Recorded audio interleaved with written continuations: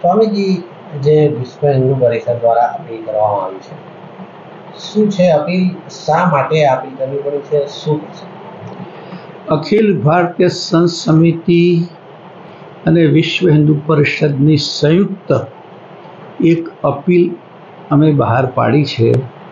બંને પક્ષોને અમે જાહેર અપીલ કરી છે.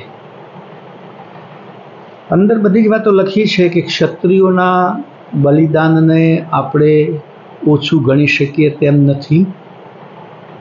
અને ભૂતકાળની સરકારોએ વિદર્ભીઓ સામે આ દેશમાં આક્રમક જે લોકો હતા એમની સામે ઇવન અંગ્રેજો સામે જે રીતે વીરતાપૂર્વક એ બધા લડ્યા છે, વીરતાપૂર્વક એમણે પોતાના બલિદાન આપ્યા છે. પોરસથી માંડીને લઈએ તો શિવાજી સુધી અને છેલ્લે મહારાણી લક્ષ્મીબાઈ સુધી. આ બધા જ રાજવી પરિવારોએ આ દેશની રક્ષા માટે પોતાનું સર્વસ્વ સમર્પણ કર્યું છે. જે ગત સરકારોએ ઇતિહાસમાં એની બહુ ઓછી નોંધ લીધી છે. પરંતુ વર્તમાન સરકારે આ ઇતિહાસને બહુ સારી રીતે વર્ણવ્યો છે, સારી રીતે જાહેર કર્યો છે.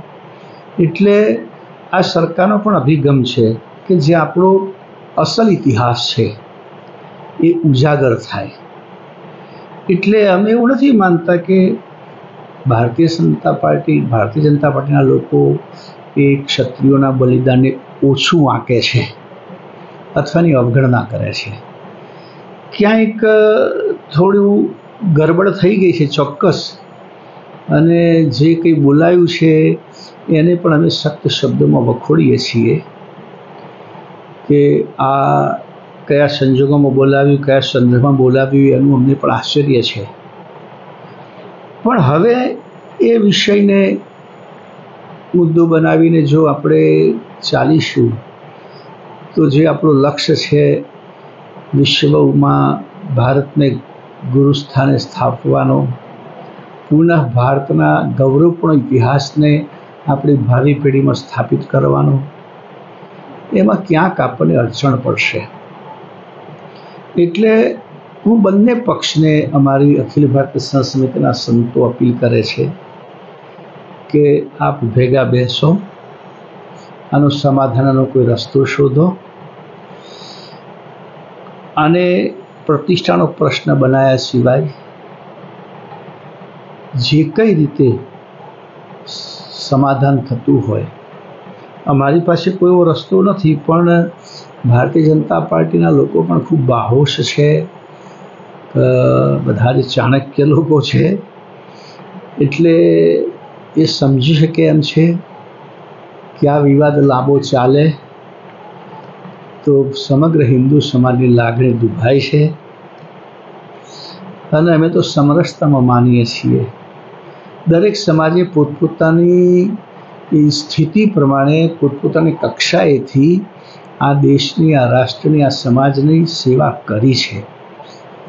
કોઈ સમાજ એવો નથી જેમાં સો સો ટકા માણસો શુદ્ધ છે, અથવા કોઈ સમાજ એવો પણ નથી કે જેમાં બધા લોકો ખોટા છે. એટલે એ વ્યક્તિગત વિષય છે, બાકી સમાજે સમર્પણ કર્યું છે.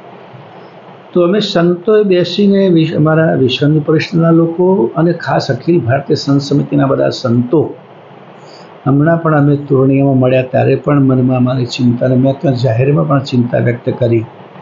એટલે એને શબ્દ સ્વરૂપે અમે આ અપીલ પહોંચાડીએ છીએ કે તમે બધા ભેગા બેસી, તમે એક જ છો.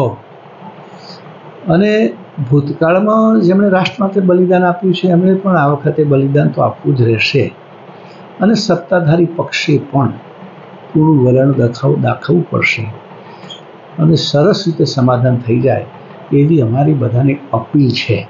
મેં આગળ તેમ કહ્યું, અમે કોઈને કહેતા નથી કે આ જોખે, કે આ નમતું જોખે.